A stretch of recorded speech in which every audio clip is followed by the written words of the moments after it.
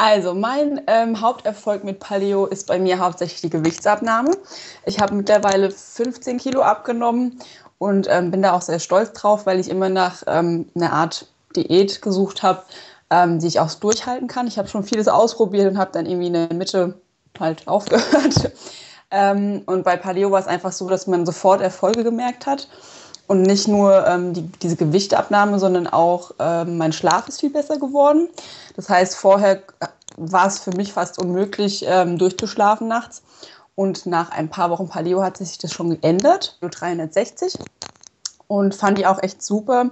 Ähm, vor allem durch den e-, E-Mail-Support hatte man immer jemanden im Hintergrund, der einen so ein bisschen pusht und einem zeigt, warum man das Ganze macht und warum man weitermachen sollte.